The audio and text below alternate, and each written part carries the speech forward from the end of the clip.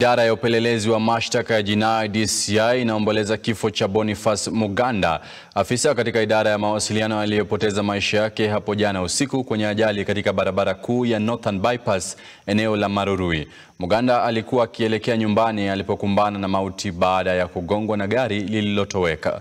Licha ya kukimbizwa hospitalini, Muganda aliaga dunia alipokuwa akipata matibabu kwenye hospitali kuu ya rufaa ya Kenyatta.